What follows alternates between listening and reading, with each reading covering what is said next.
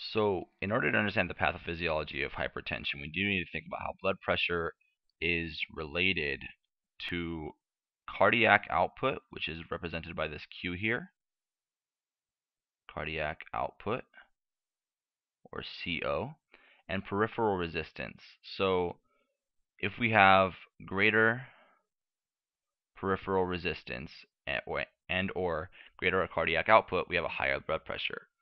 Cardiac output can be further divided into stroke volume and heart rate as far as the factors that are involved in cardiac output. So stroke volume is basically how much blood is expelled by the heart with each beat, and the heart rate is how fast the heart is beating. So that both of those determine both of those are involved in determining the cardiac output.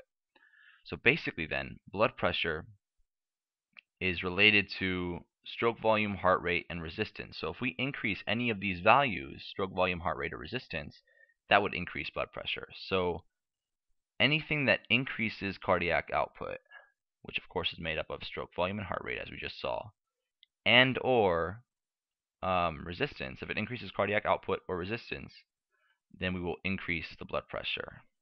So stroke volume uh, is actually controlled intrinsically and extrinsically basically if you, have a, if you have a bigger heart and you have longer muscle fibers and your heart can contract more, then you can ha you'll have a higher stroke volume.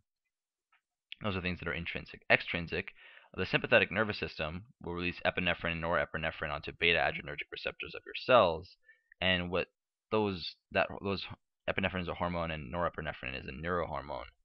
What those things do is they increase the force of contraction of your heart.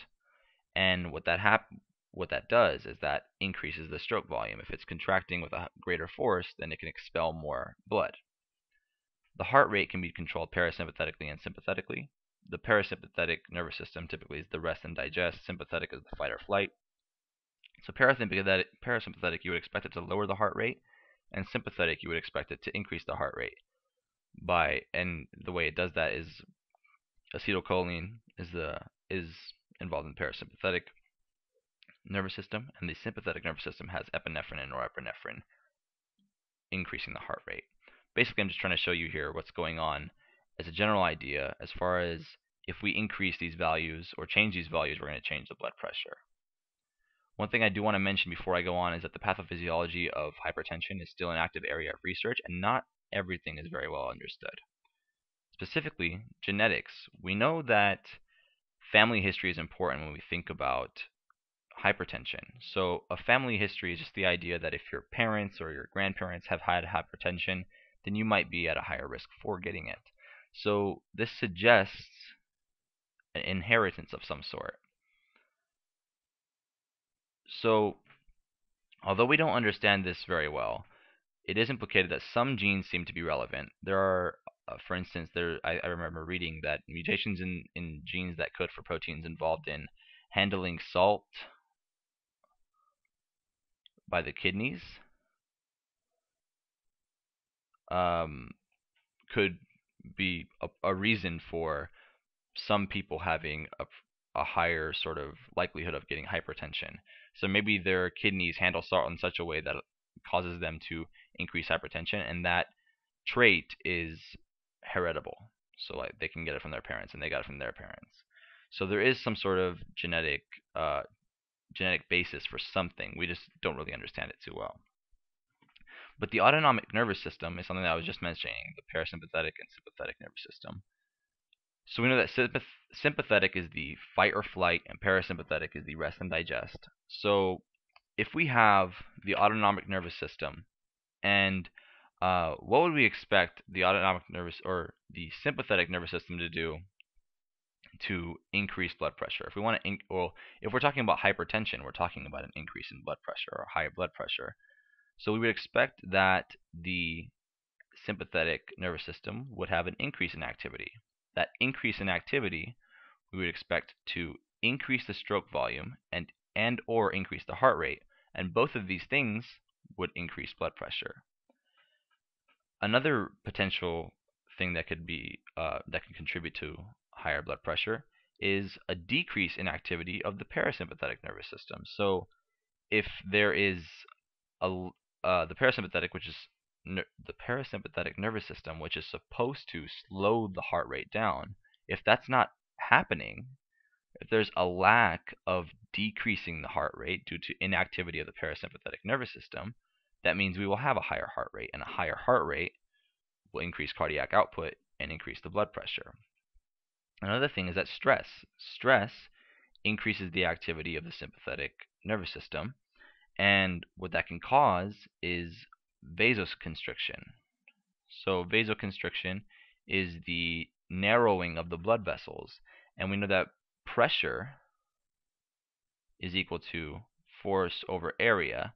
So if we lower the surface area, uh, let me put here surface area.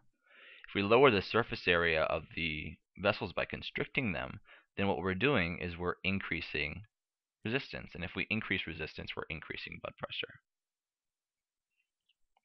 So that's how the autonomic nervous system uh, could play a role. Another thing is that's that's pretty huge is the renin angiotensin aldosterone system or the RAAS system. And basically the whole idea that there's this thing called angiotensin 2 um, initially, which is a, a, very very potent sort of uh, molecule that's involved, or, or it's a very important component of this system here. Basically, the liver produces angiotensinogen, which is an inactive form of angiotensin. So the kidneys produce renin, which causes angiotensin to be or angiotensinogen to be converted into angiotensin 1. And angiotensin 1 can be turned into angiotensin 2 by this thing called angiotensin converting enzyme, which is which comes from the lungs and actually the um, kidney as well. It comes from the endothelial cells there. So what angiotensin 2 do does is it increases sympathetic activity, it increases sodium and chloride um, sodium and chloride retention, increases potassium excretion, increases water retention, increases aldosterone secretion from the adrenal cortex. It increases arterial vasoconstriction, which of course um, makes sense from this term, angiotensin. And it also increases antidiuretic hormone, or, or otherwise known as vasopressin secretion. Now, the details of this can probably be found elsewhere, because but the whole idea here is that an, an increase in blood pressure is, is what results from all of this. So what I really want to get at is essentially that if there's a lot of activity here, if there's a lot of production of angiotensin 2, then we're going to have a higher blood pressure. So a lot of activity here means a higher blood pressure. So patients with high blood pressure might have something going wrong with this, or maybe we're producing too much angiotensin 2, or too much renin, too much ACE, whatever it is. Um, we're getting too much angiotensin 2, and we're doing too much to increase the blood pressure in a hypertensive patient. The last thing to be considered as far as the pathophysiology is the balance between vasodilators and vasoconstrictors. So things that make the blood vessels larger or smaller. So vasodilators, they decrease blood pressure, whereas vasoconstrictors increase blood pressure. So I've given a few examples here of some vasodilators and some vasoconstrictors. So in the case of high blood pressure, we have too much constriction, too much of this, perhaps, and not enough of this. So if the balance between these is off, then um, that could be the reason for, or at least off and in the favor of the constrictors, that we could have a high blood pressure there. Hope that video was helpful. Thank you for watching.